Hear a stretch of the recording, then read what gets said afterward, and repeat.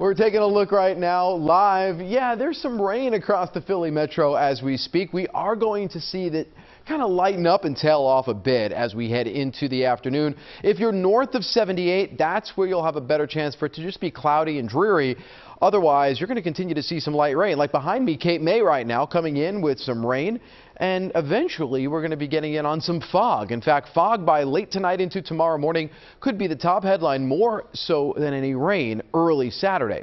It's also chilly, a lot cooler now than it was even a few hours ago. 46 in Philadelphia, 44 in Atlantic City, Cheswold coming in at 48, 47 in Reading. The cooler air that's filtering in because we have a cloudy cover, it's going to stay this way. We're not actually going to see those temperatures drop much more than this. They'll springboard up a little bit more as we head toward the late part of the afternoon. It's all part of a major system that extends all the way back toward the deep and mid-south they're going to have some severe weather, the possibility for even tornadoes on the backside of this system for areas like Memphis, Tennessee, Little Rock, and North Mississippi. But for us, we're just going to be looking at some rain and possibly for your Saturday afternoon, a couple of non-severe rumbles of thunder, much like we had last night.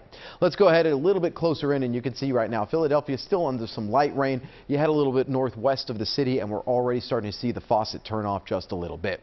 Next 12 hours, we may once again get back up to the lower 50s. But keep in mind, this time of year, we should be in the mid to upper 50s, so we're going to be chilly. And then into this night, we're going to basically stay in the mid and upper 40s. So it's a chilly start to the evening, and then we get into early Saturday morning, and we're going to actually see the chance for a little bit of fog because the winds will be light off the water. And basically what we're going to end up seeing here is some reduced visibilities across central and southern New Jersey and eastern PA, maybe as far down as one to even less than half a mile. So keep that in mind early Saturday.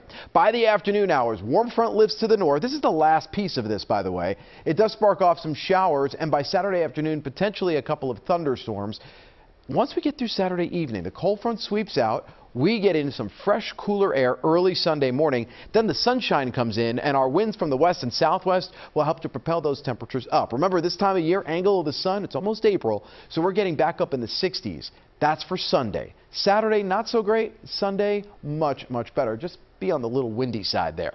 44 degrees tonight, chilly rain, some patchy fog, east winds at 5 miles per hour. Here's your seven day forecast 55 on Saturday. So we'll get through the first half of the weekend, not so great. Second half of the weekend, much, much better. Again, sunshine on Sunday, 62. Just watch out for my wind, west southwest at times up to 25 miles per hour. Next week, where we should be for temperatures, that's where we'll be. But we'll have a couple of chances for showers late Tuesday and again on Wednesday. No major systems in play and no major storm systems, big ups or downs all the way through the end of next week. Jim?